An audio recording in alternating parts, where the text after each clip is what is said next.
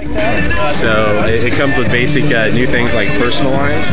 So making it easy for you to get in and make the device your own, right? Add your widgets, add shortcuts, download new apps, change your screen, your skin, maybe change your ringtone, right? So the ability to surface very quickly to get access to make the device more personalized.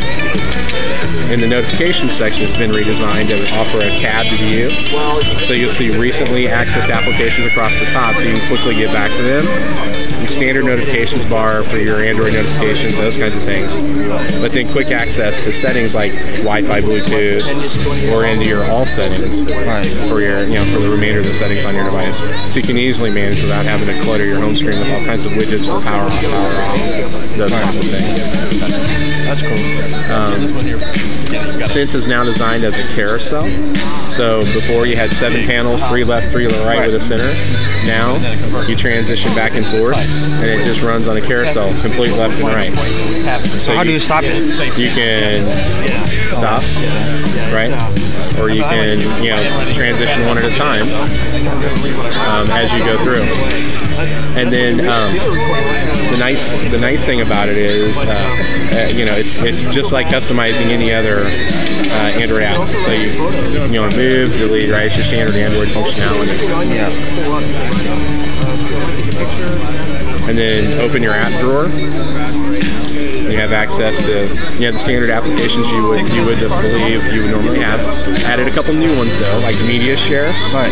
So the device supports, supports two ways to get content off. You have HDMI out through the HDMI port, so you can connect to a regular HDMI enabled device, or it has DLNA, so you can wirelessly connect to a DLNA enabled appliance and wirelessly stream your content to that appliance. Right. So if you want to play your 3D content on your 3D, you know, enabled TV, you can plug it in, or you can set up Media Share to go ahead and wirelessly stream that to the TV. Has your uh, quick video and things like that. You have your front-facing camera, and then your dual rear-facing camera. So Qik is able to access those and do video chat and those kinds of things. Can you show me a um, um, a picture that you can take uh, using 3D? Yep. So we'll go back to our home screen, go into our gallery.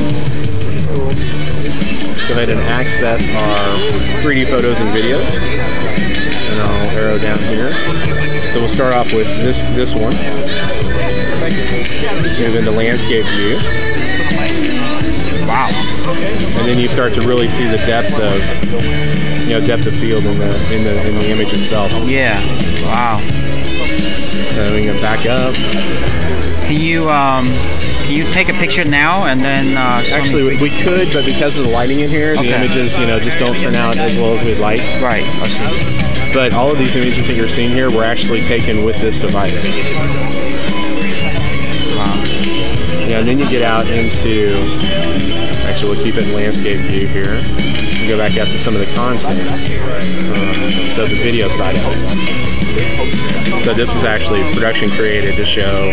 So you can take uh, 3D videos using this phone and we play back in Absolutely, 3D. absolutely. So you can capture 2D video in 1080p resolution, and you can capture 3D video in 720p resolution. So you're getting high definition out of both um, 2D and 3D. That's amazing.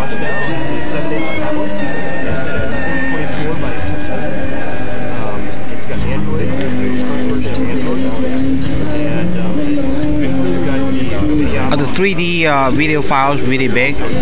Um, not necessarily. Um, not sure exactly. Uh, they're, they're no different than a, than a video file that you would get normally. A full, full movie trailer, that kind of. You know, 1080p video is going to be 1080p video. Right. So they're, they're not they're not that much bigger than what, what you would get out of a normal file today. Um, some user generated video content.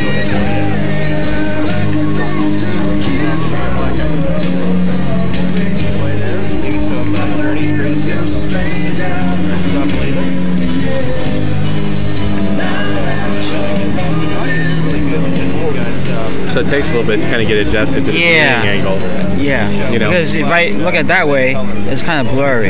Right. If I look So at, it might be might be the angle of the device, right? Just because I'm maybe I'm holding it a little bit different. Right, yeah. But, but once you adjust, um, it's kind of like a lazy eye, right? Once you kind of let your eyes adjust to it, Yeah. Then in the future, right, you always kind of pop right back into it. Right. memory of the tablet.